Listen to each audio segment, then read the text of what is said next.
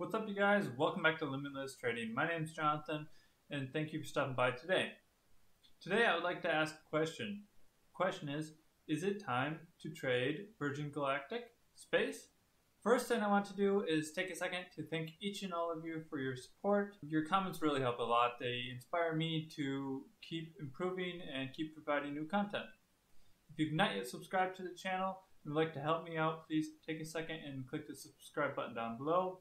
And if you would also like to leave a like rating, go ahead and do that now. I'd like to reach out to uh, two recent commenters and say thank you for your comments on the ride video. I really appreciate the feedback. Uh, it really helps out in improving the content. Thanks again.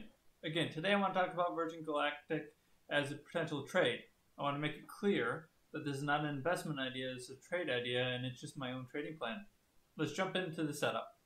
Space was up uh, more than $5 last week on the news of a scheduled test flight. As uh, Reuters reports here, uh, Virgin Galactic moves closer to uh, space tourism because of this completed test flight. This test flight took place on May 22nd and was successful. This was the impetus for my uh, space trade idea the news that came out last week, the test flight that was scheduled, and the success that it had. Now I want to talk about the thesis I'm playing with and get your take. The stock is showing a very nice reward to risk ratio because it is much closer to the support level at the bottom around 15 than it is to the resistance level closer to 33. Additionally, the 52 week high of 60 per share in February during the Reddit inspired short squeeze shows that there's uh, room to go to the top side. The 52 week low, uh, which has reached multiple times and is, as I, I consider, long term support, is around $15 per share.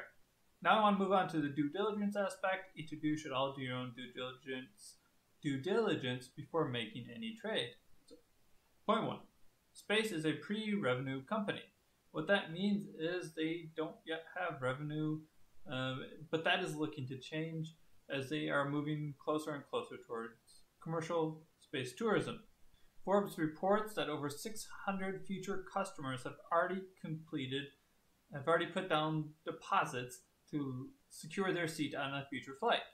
And as I've already stated here, on May 22nd, Space had a Space Virgin Galactic had a very had a very successful test flight in which they reached Mach 3 and reached an altitude of more than 55 miles or 88.5 kilometers above the surface of the Earth. This is the distance or the elevation that NASA recognizes as space. These are all positive messages for me, leading me to have a reasonably good feeling after my due diligence. I find risk management to be the most important part of trading, and let's jump into that now. I prefer to keep my position sizes very small, meaning risk of less than 2%, between 1 to 2% in each position. I envision a stop at around 15 because this is the long-term support level that has been tested and held up multiple times throughout the last year. My price target is not $60 per share. It's not the all-time high. My price target here is around $35 per share, which is something that was previously reached in March during its last rebound. Now, it's currently trading at 21 if we look at the stock. If we look at the chart down here in the bottom right, what I would like to see is during intraday trading on Monday, maybe it pull back to around 20. I'd like to see that as an entry. I envision this as a swing trade, not as a day trade or an investment. What I mean there is that I'd measure the time in this trade with weeks and maybe days, definitely not hours and definitely not months. What's your take on space? Virgin Galactic.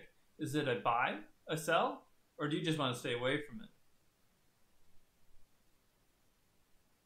Thanks for joining me today as I walk you through my Virgin Galactic uh, trade idea.